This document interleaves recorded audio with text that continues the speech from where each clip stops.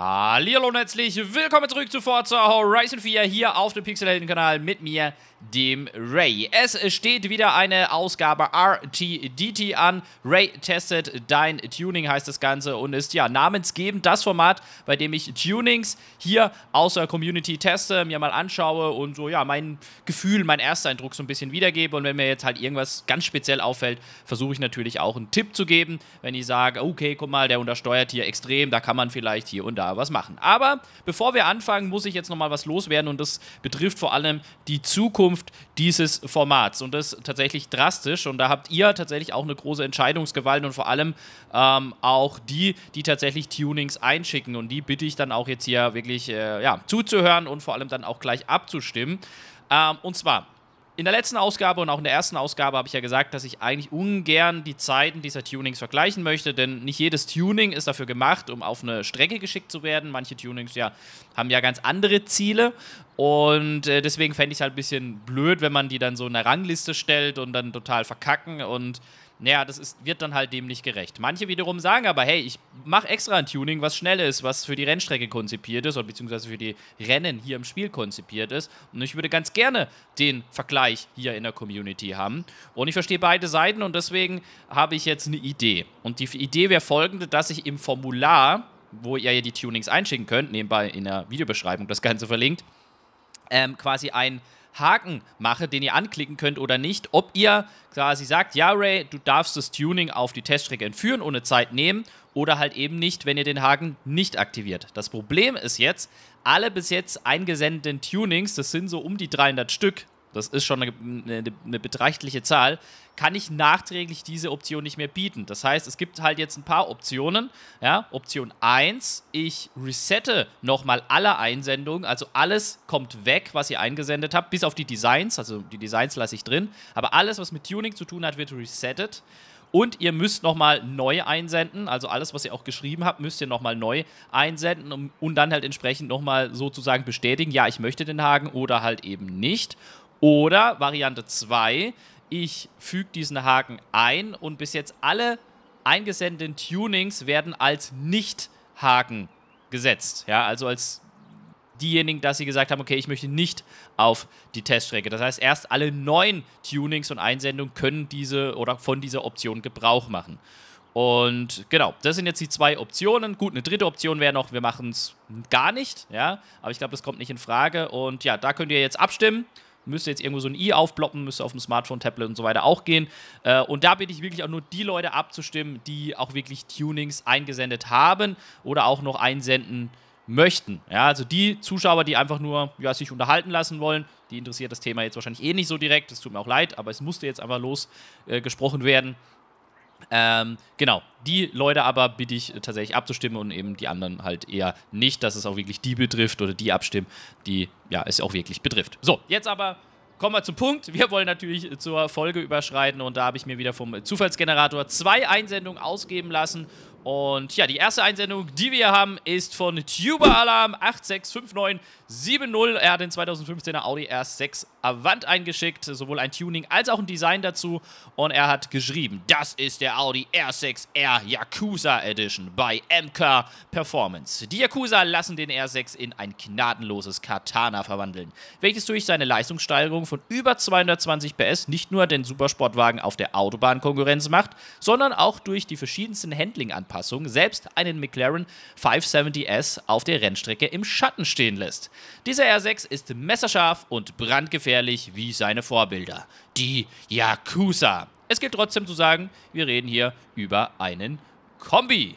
Ja, das stimmt auf jeden Fall. Ich würde sagen, wir laden uns das Tuning direkt mal runter, beziehungsweise ich habe schon runtergeladen. Wir installieren es viel mehr. Wir sehen, er hat es auf S1 900 aufgebaut. Wir sehen diese, ja, doch gute Leistungssteigerung. Auch vom, äh, von den Newtonmeter geht es nochmal nach vorne. Und wir sehen vor allem einen massiven, ja, Gewichtsverlust. Also Handling-Anpassung hat er das jetzt genannt. Ich nenne das jetzt einfach mal Gewichtsreduzierung, weil 400 Kilo, über 400 Kilo wegzunehmen, das macht viel aus. Ich gehe auch davon aus, dass er hier entsprechende Rennreifen mit oder nicht Rennreifen, aber bessere Reifenmischung verwendet hat, denn äh, wir sehen halt einen extremen Handling-Zuwachs.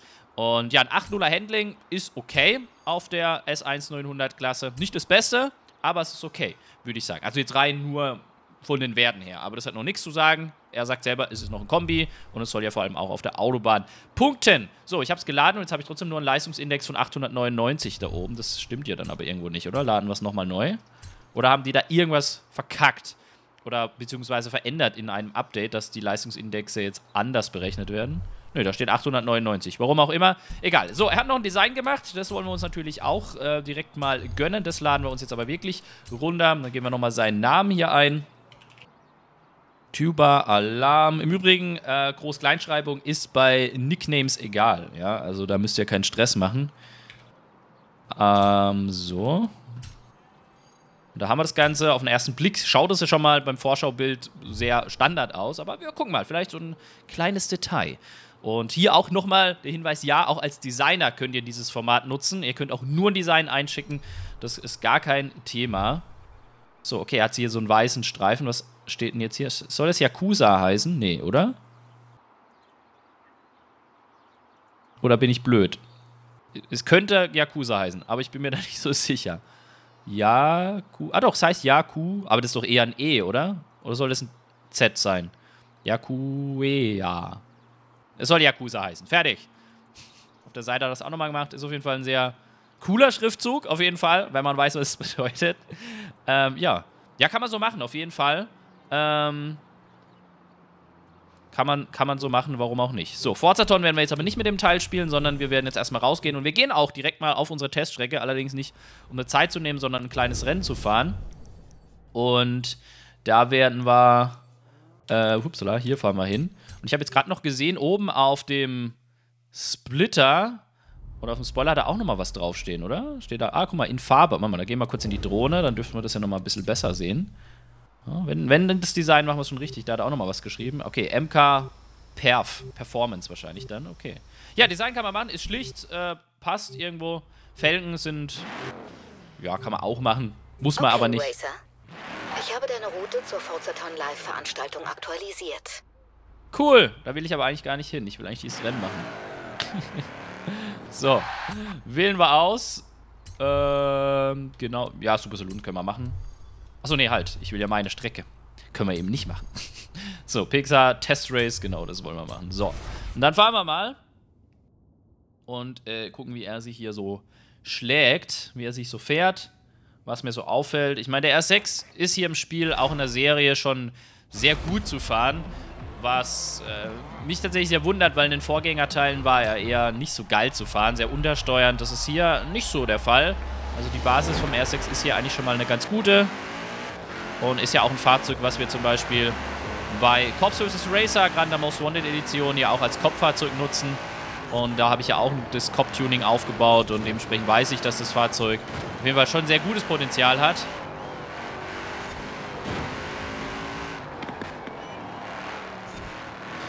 Ja, was man direkt merkt, ist das wenige Gewicht tatsächlich. Also klar, die Optik ist immer noch bullig und groß, ähm, aber man merkt schon, wie leicht und schnell das Fahrzeug die Last wechseln kann, äh, dass da halt eigentlich so kein wirkliches träges Moment da ist. Und ja, wir haben ein bisschen, muss ich sagen, ein bisschen noch, ja, die Treibertare machen wieder eine Alternativroute.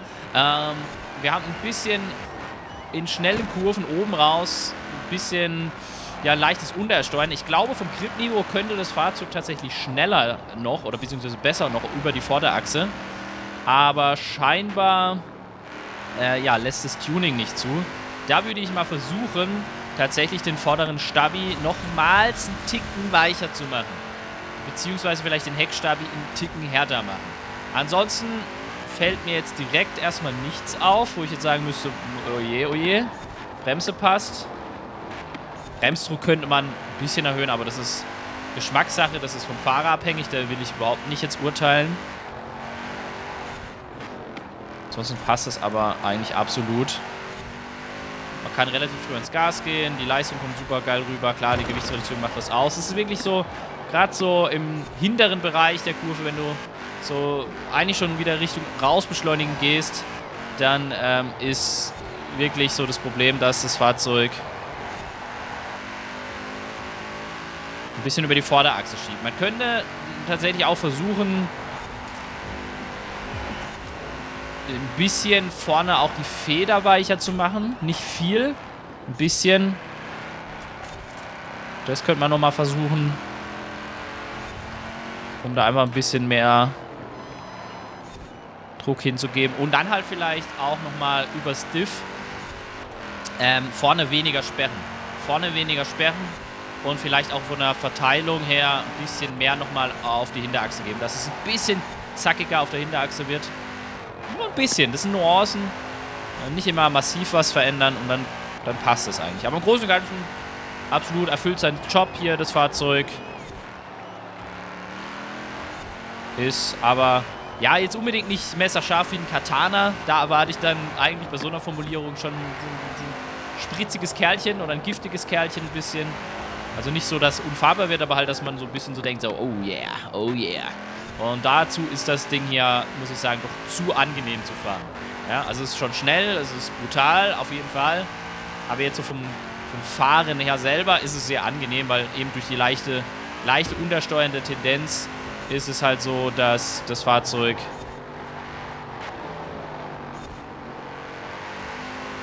doch eher ähm, ja, sehr stabil einfach wirkt, dass man da eigentlich nie die Gefahr hat, dass das Fahrzeug irgendwie ausbricht, dass es in den schnellen Kurven irgendwie zu Problemen kommt.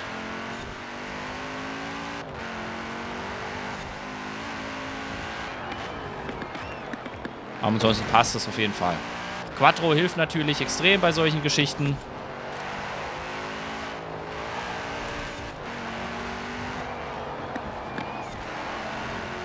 die haben wieder mega Probleme. Ja, vielleicht muss ich die Strecke nochmal irgendwie neu machen oder so, aber irgendwie, ich weiß auch nicht, warum die Treibertare hier so kacke machen. Ah, okay, da zieht es mich jetzt gerade richtig weit raus. Und ja, ich krieg's Fahrzeug überhaupt nicht mehr auf die Strecke gelenkt. Krasser Scheiß. Aber das ist auch sowas. Also da, äh, über die Vorderachse geht tatsächlich einmal nicht so viel bei solchen Situationen.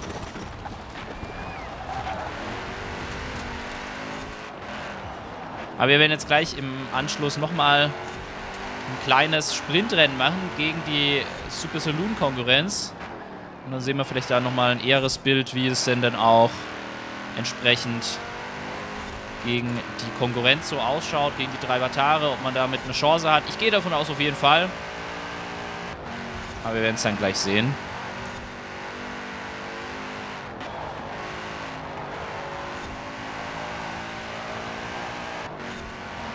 Achso, im Übrigen auch nochmal kurz zu der Anfangsgeschichte. Ich habe das Formular jetzt erstmal gesperrt, bis da eine Entscheidung getroffen wurde.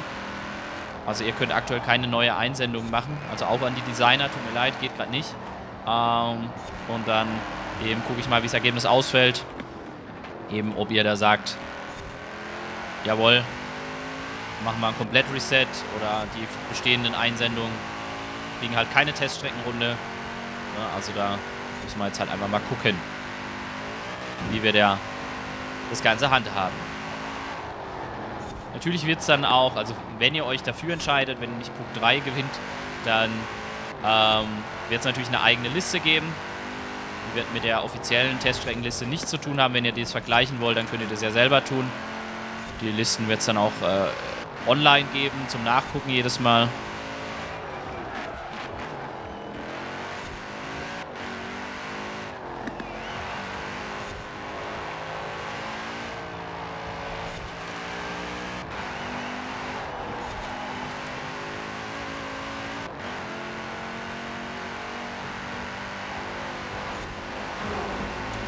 So, sehr schön. Und äh, wie gesagt, dann machen wir jetzt noch ein kleines Sprintrennen im Anschluss.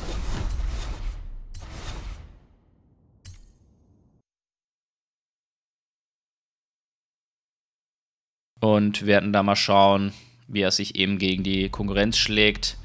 Da haben wir doch, glaube ich, hier irgendwo so ein Sprintrennen sogar in der Nähe direkt, oder? Ja, nehmen wir einfach hier das da unten. Da haben wir ja sowohl langsame als auch schnelle Abschnitte mit dabei. Jawohl. Dann wählen wir das mal aus.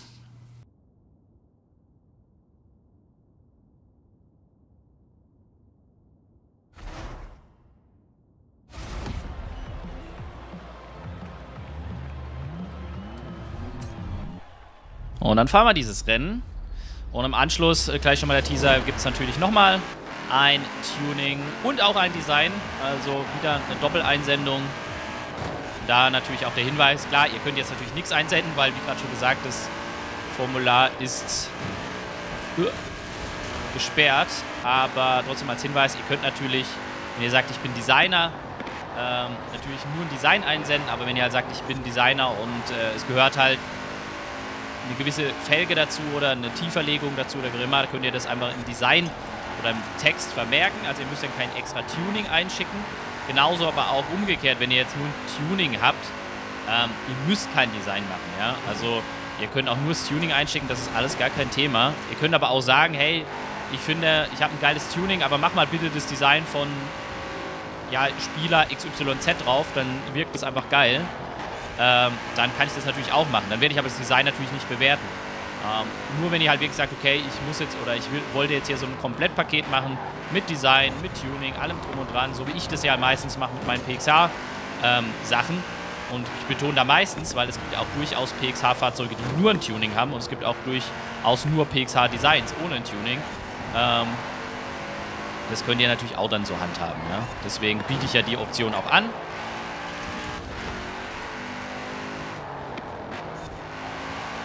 Ja, und man sieht, man hat eigentlich hier ganz gutes Händchen. Ja, und ich möchte auch nochmal betonen, das merkt man hier jetzt gerade insbesondere, gerade die langsam irgendwie rein. Wir haben kein Untersteuern beim Kurveneingang, ja, oder bei, bei der Kurveneinfahrt. Das muss man nochmal sagen. Das ist hier sehr, sehr gut gelöst. Das Problem besteht wirklich beim Rausbeschleunigen, beziehungsweise sobald die Kurve schneller wird. Und klar, das kann natürlich auch ein Mangel der, des aerodynamischen Anpressdrucks sein, logisch. Aber ich behaupte mal, dass er wirklich über Stiff kann man da einiges regeln. Und eben, wie schon gesagt, so ein bisschen Federn stabil machen, dann kann man das auch schon ein bisschen handhaben.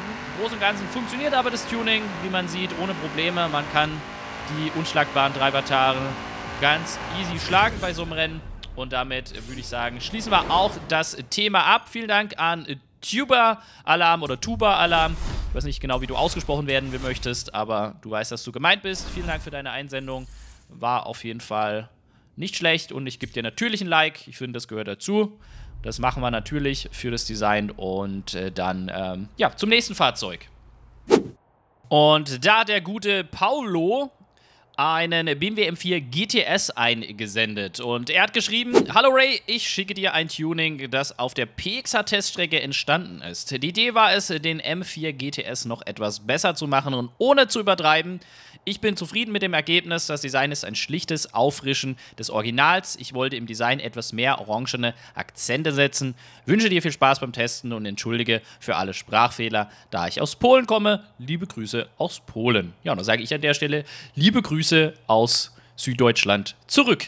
Ja, ähm, ja, ich muss auch sagen zu den Texten, ähm, ich lese sie nochmal durch und hier und da passe ich auch ein paar Sachen an.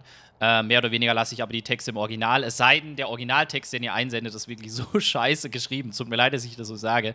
Äh, dann schreibe ich den Text nochmal neu mit demselben Sinn. Das habe ich auch in der letzten und ersten RTDT-Ausgabe gemacht. Dann habe ich das aber auch mit so einem Sternchen vermerkt unten, dass es eben vom Original abweicht. Äh, aber hier habe ich jetzt nur ein paar Sachen umgetextet. Im Großen und Ganzen ist es die Original-Message. Und äh, ja, muss ich nicht entschuldigen dafür. Also, ähm, ja. Ich selber ja, um da mal kurz vom Thema abzulenken, ich selber äh, war Legastheniker. Ich würde sagen, ich war, ich bin es nicht mehr. Ähm, ich habe da sehr, sehr, sehr viel Arbeit reingesteckt um ähm, wirklich ein bisschen besser zu werden. Aber hier und da rutschen natürlich immer noch Fehler raus. Ich meine, das ist auch irgendwo menschlich. Solange man es versteht und lesen kann, ist okay. Man sollte sich trotzdem aber bemühen und es nicht als Ausrede nutzen, oh, ich habe Legasthenie oder ich komme aus einem anderen Land. Man sollte sich trotzdem immer bemühen und ich glaube, das hat er hier auf jeden Fall getan und deswegen alles cool. So, jetzt aber zum Fahrzeug, zum BMW M4 GTS. Auch hier das Tuning bereits schon heruntergeladen. Er wollte eine leichte Steigerung haben. Ähm, die haben wir auch. Wir sehen aber auch hier ähnliches Bild, eine massive, ähm, massiven Gewichtsverlust von 1,5 Tonnen auf 1,2 runter. Ähm, Reifenmischung könnte hier auch nochmal angepasst worden sein. Da bin ich mir sogar relativ sicher, dass das gemacht wurde. Ähm, dementsprechend haben wir auch einen massiven Leistungsindex-Zuwachs. Aber ja, ich bin trotzdem sehr gespannt, wie das Fahrzeug sich dann so handeln lässt. Und vor allem, wenn er schon sagt, es wurde auf der PXH-Teststrecke äh, ja, konzipiert und dann ist es jetzt eigentlich schon wieder schade, äh, dass man sagen muss, okay, er hat jetzt keinen Haken setzen können, aber genau deswegen der Aufruf an euch, sagt jetzt Bescheid und nicht irgendwann später, weil sonst bringt das alles nichts mehr. So, Design hat er auch gemacht und das gucken wir uns als erstes an, aber auch hier laden wir uns das Design erstmal runter. Wir suchen nach ihm und auch hier äh, scheiße ich mal kurz auf die, Recht, äh, auf die Rechtschreibung, sage ich schon, auf die Groß-Kleinschreibung.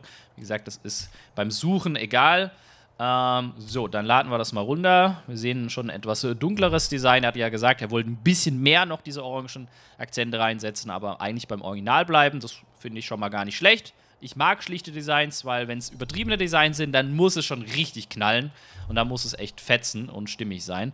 Ja, okay, er hat hier so das Ding durchgezogen. Das Orange ist ein bisschen, ein bisschen sehr, sehr schlicht. Also es hat was auf jeden Fall. Das ist so ein fast nicht wahrzunehmen, dass orange ist. Schade ist es dann aber nur halt mit der orangen Zierleiste hier unten, dass die noch so grell ist. Denn, das möchte ich ja mal betonen, die kann man hier unten tatsächlich umfärben. Zum Beispiel, wenn ihr unser äh, Polizei-M4 seht, der hat die nämlich nicht in orange, der hat die nämlich in gelb. Ähm, passend zum Cop-Design. Und dementsprechend, äh, ja, hätte ich entweder die Leiste unten angepasst oder eben die Leiste hier entsprechend äh, in, in, der grelleren orangen Variante gemacht. Ansonsten finde ich es geil, muss ich sagen, die Idee. Ähm, hat man auch, glaube ich, schon mal gesehen, ähm, so die, diese, diese Schwungform beim M4. Aber ist ja auch egal. Ja, man kann sich ja auch inspirieren lassen und das geht es ja auch gar nicht. Und ähm, ansonsten sieht es auf jeden Fall sehr stimmig aus. Mir gefällt auch tatsächlich dieser Grauton. Ich weiß nicht, ob das vom originalen M4 ist oder ob der selber gemacht ist. Kannst du ja, wenn du die Folge siehst, mal in die Kommentare schreiben, ob du selber den Grauton gemischt hast oder ob das ein originaler Grauton von BMW ist. Das habe ich jetzt gerade nicht im Kopf. Falls es selber gemischt ist, ist er geil, muss ich sagen. Also der fetzt schon richtig. Das sieht schon jetzt hier gerade unter diesem Studiolicht schon geil aus, muss ich sagen. Kann man so machen. Kann man so machen. Wir gehen raus, wir gehen auf unsere Teststrecke ähm, und gucken mal, wie es denn so sich fahren lässt. Denn da ist ja angeblich das Ganze entstanden. Und dann erwarte ich natürlich jetzt schon absolute Performance. Ja, also da muss das Ding jetzt schon richtig knallen. Sonst äh, gibt es Abzüge in der B-Note. So viel ist schon mal sicher. So, ja, unsere drei Avatare werden natürlich jetzt wieder Kacke fahren, aber die ignorieren wir einfach gekonnt. Die nehmen wir einfach mal als Slalom-Hindernisse an. Ja? So einfach machen wir das. So, Felgen kann man auf jeden Fall machen. Finde ich. Aber Felgengeschmack ist ja sowieso so eine Sache. Da kann man sowieso nicht jeden Geschmack treffen. Und äh, ja, das sollte man auch gar nicht versuchen.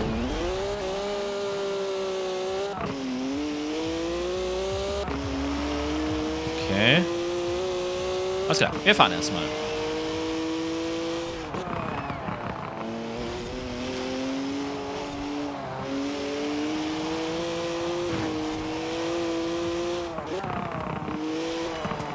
Hat auf jeden Fall eine sehr, sehr, sehr, sehr, sehr, sehr krasse Einlenkreaktion.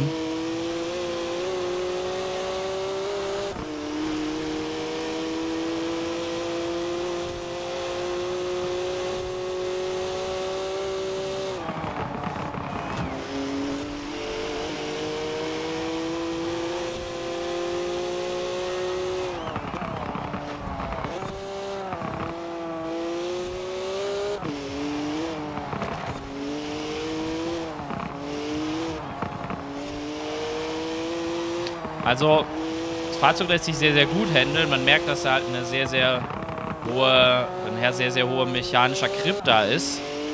Ähm, und auch natürlich die Aerodynamik des M4 GTS spielt da schon mal mit. Ich könnte mir auch vorstellen, ich weiß es natürlich jetzt nicht, dass aber hier auf jeden Fall äh, an der Aerodynamik ein bisschen mehr Richtung Downforce gedreht wurde, weil gerade so oben raus habe ich das Gefühl, fehlt ein bisschen die Power. Gut, er hat ja auch jetzt nicht so viel mehr Power dazugegeben, wenn wir kurz mal auf die Telemetrie achten aber wir haben ja trotzdem deutlich weniger Gewicht.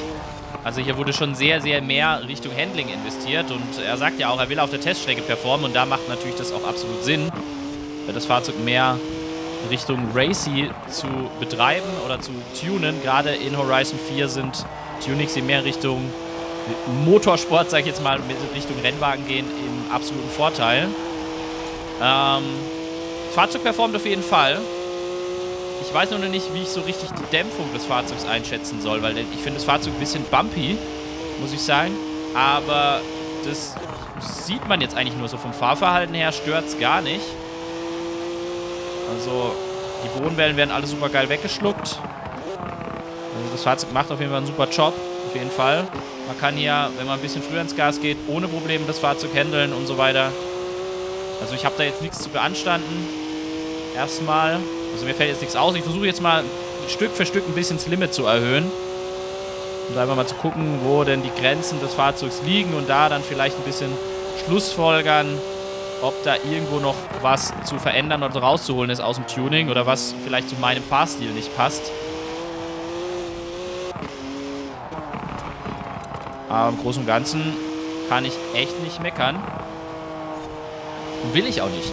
Ne? Nicht, dass ich jetzt nach Fehlern suche, aber ich denke mal, ihr schickt ja auch Tunings ein, um äh, vielleicht auch nochmal den ein oder anderen Blick von einer anderen Person zu bekommen. Und ich möchte euch natürlich schon ehrlich und kritisch das Ganze ja, begutachten, um euch da vielleicht auch einen entscheidenden Tipp mitzugeben. Aber aktuell muss ich sagen, bis eben auf dieses etwas bumpy Fahrverhalten, upsala, habe ich da jetzt nichts, was äh, mir irgendwie negativ aufstößt. Einzige, was mir jetzt am Start so ein bisschen aufgefallen ist und auch hier und da ein bisschen auffällt, ist äh, beim Getriebe, gerade weil du sagst, du hast es auf dieser Strecke abgestimmt, gerade der zweite Gang könnte, glaube ich, einen Ticken länger sein.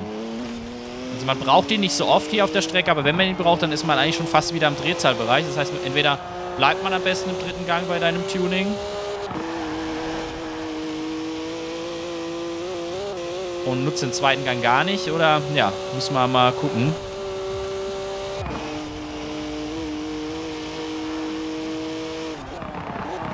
So, ich habe mal versucht, ein bisschen zu spät zu bremsen, wie er darauf reagiert. Naja, passt aber auch alles. Ja, ich bin zufrieden. Also ich kann da echt nicht jetzt meckern. Das Fahrzeug macht einen sehr, sehr guten Job, einen sehr, sehr race-tauglichen Job vor allem. Ja, so und am Sonnenlicht kommt das Orange noch mal ein bisschen krasser rüber, wie im Studiolicht. Nö, macht einen super Job, sehr, sehr schnell in den Kurven. Passt.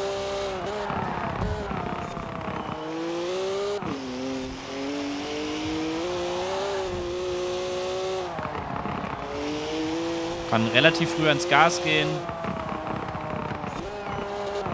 Ja, eben hier so, da weiß ich jetzt nicht, ob ich im dritten Gang bleiben soll oder im zweiten Gang.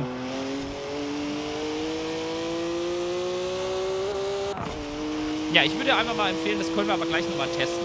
Lasst es gleich nochmal testen aus dem Start raus. Ich möchte jetzt gerade nicht anhalten, ich möchte jetzt mal die Runde nochmal durchziehen.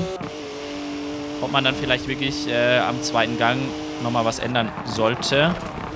Das war ein bisschen jetzt zu spät gebremst.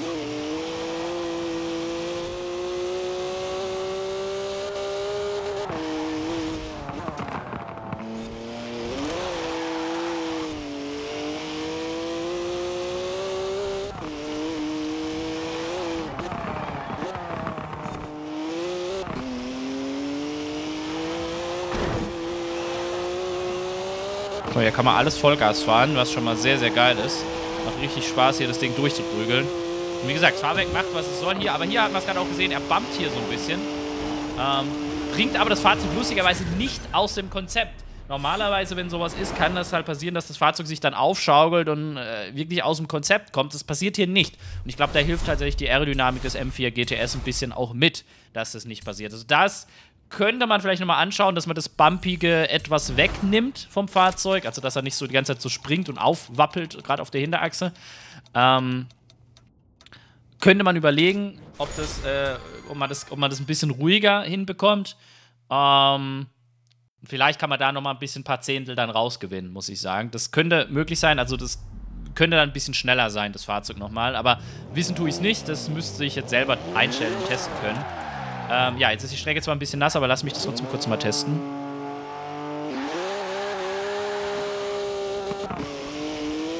Ja, okay, also ich würde dir empfehlen tatsächlich ähm, beim Getriebe, ich weiß nicht, ob du ein Renngetriebe drin hast, falls ja, also wenn du die Gänge einzeln anpassen kannst, mach den ersten Gang nochmal länger, wirklich länger und den zweiten Gang auch einen Tick. Die restlichen Gänge kannst du dann lassen. Gerade die ersten beiden Gänge ist beim Heckantrieb kein Problem, wenn die ein bisschen länger sind. Das äh, kann ich dir nur wärmstens empfehlen, auf jeden Fall. So, und ich würde sagen, wir machen nochmal ein ganz kleines Sprintrennen am Ende und ähm, gucken dann, wie wir da nochmal abschneiden. Sind natürlich jetzt mehr oder weniger ein bisschen über die 30 Minuten dann gleich schon, aber Äh, das muss ich gerade mal gucken. Naja, ah kommen wir mal Track Toys. Aber ich habe am Anfang ja auch ein bisschen off-topic gelabert. Von dem her sollte das ja auch dann klar gehen, dass wir jetzt ja nochmal auch ein kleines Rennen fahren. Ja, aber zwei coole äh, Tunings auf jeden Fall, die ihr da eingesendet habt, finde ich auf jeden Fall top. So, so muss das sein.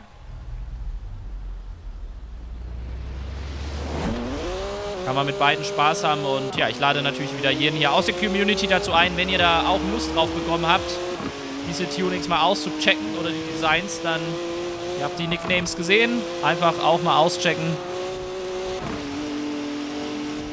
und Spaß haben. Also der M4 kann man auf jeden Fall sich gönnen, der ist eine Spaßmaschine.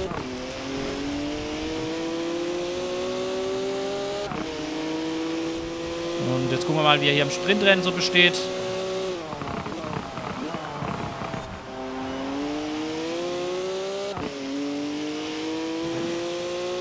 Ja, aber es ist, also ich muss sagen, wirklich Top-Tuning. Top Gefällt mir richtig gut.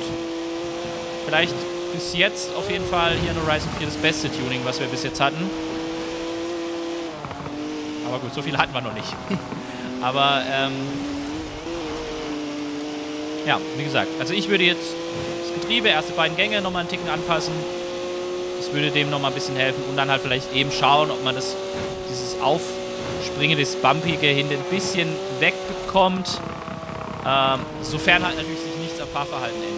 Weil wie gesagt, es ist eigentlich nur eine optische Sache, so ein bisschen. Es stört nicht beim Fahren. Also das Fahrzeug wird nicht tatsächlich unruhig, es sieht nur so aus. Und äh, was ich sehr lustig finde, dass es so ist. Und äh, ja, guck mal, hier ist ein GT3 RS. Einmal mal ohne Probleme jagen mit dem Tuning.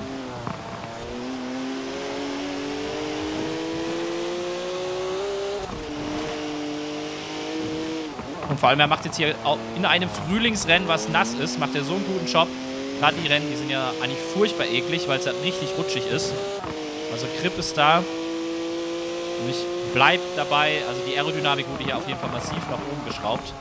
Anders kann ich mir das auch nicht erklären, dass das Fahrzeug so stabil bleibt in manchen Situationen. Was ja aber auch völlig legitim ist. Das kann man es ja machen.